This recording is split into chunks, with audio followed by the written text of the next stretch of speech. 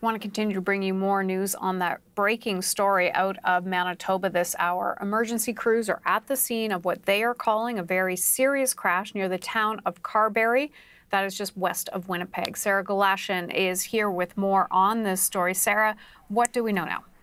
Well, Hannah, we, the latest we're hearing is from the the Brandon uh, Fire Department. They're confirming to us that this is a, a this was a collision between a, a semi truck and a, a, handy transit vehicle. Uh, this would be a, transit vehicle used uh, public transit for those whose uh, whose disabilities prevent them from using a, larger um, public transit bus.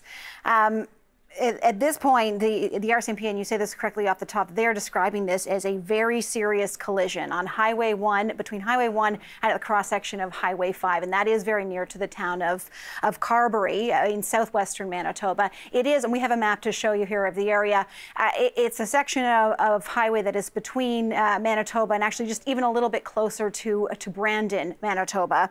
Um, we know that there is STARS Air Ambulance uh, dispatched both from Winnipeg and from Regina, and Regina telling us that uh, 14 critical crew members, as well as two helicopters from Regina, were dispatched to the scene. And the the section of high, the highway that we're talking about, RCMP asking drivers to avoid it, and that it has been shut down at this point to deal with this very serious collision.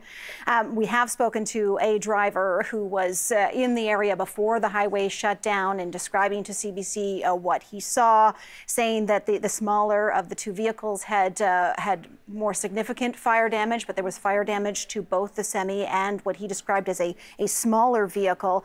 Talking about the police response to this, saying there was as many as 20 police cruisers and as many as eight uh, road ambulances on the scene. We have reached out to uh, Shared Health, Manitoba Shared Health, to see what kind of hospital response uh, is anticipated here. Yet to hear back, but we are anticipating they should have a response shortly, Hannah. We'll bring it to okay. you when it comes. Yeah, okay, Sarah, jump back in when you get more details. Appreciate it.